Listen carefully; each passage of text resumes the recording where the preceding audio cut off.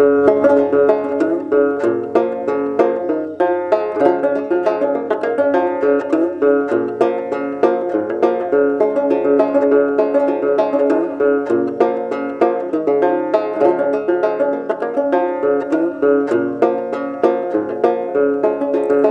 made me sit in my chair, but I won't have him I sit in my chair and he run like a bear with his brogan boots and leggings.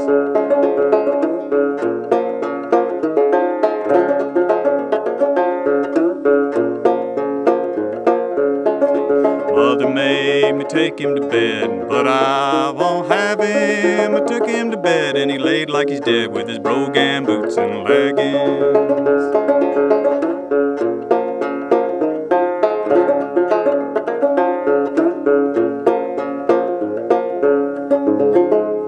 Well, everybody, I just wanted to show you a couple new banjo builds. I've got two of them today. I'm calling this a West Virginia mountain banjo. And I'm calling this an East Kentucky mountain banjo.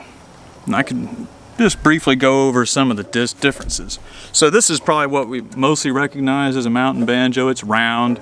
It's constructed of three boards stacked on top of each other and you've got beefy tenon that slides between them and it all gets bolted or pegged or whatever together.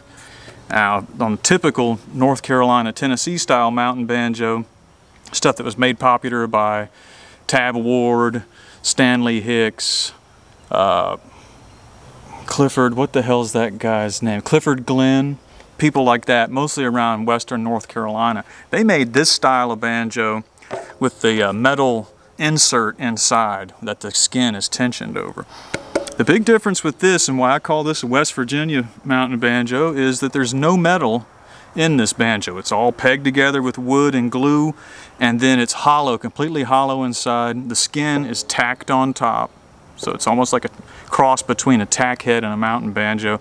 And then you put that thin hardware and peg it down over the top. That secures the hide on. So this was, I loosely based this banjo off of an example that was owned by Franklin George. Frank George is from Bluefield, West Virginia. His father, whose name I don't know, but Frank George's father built a banjo that was very much like this in West Virginia in the 1930s. Don't know the exact year. So that's my West Virginia style mountain banjo.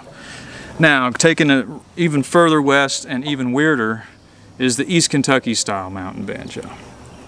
This example is hexagonal. Uh, many of them are octagonal, most of them are probably octagonal, and you've got a lot of them that are square. Uh, but this is the hexagonal. I think this is the easiest kind to make. I've copied this off of several antiques I've examined up close and some photographs. I did a full V'd neck on it. I, of course, always hand carve my own tuning pegs and stuff like that. Uh, the bone is a piece of uh, bone.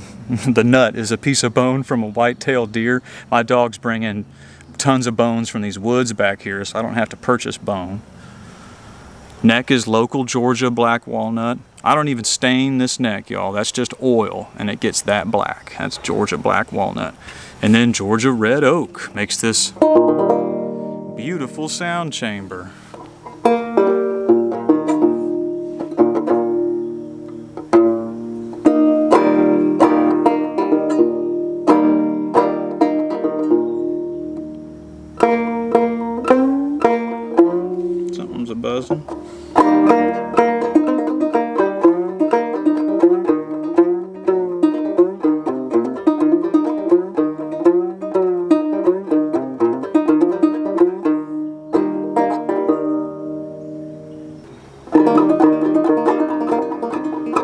If I only knew you cared nothing for me, I would take morphine till I died.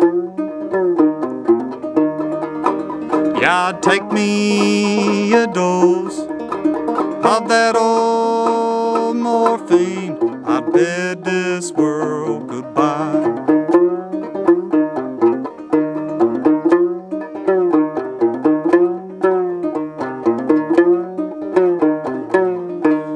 Woo!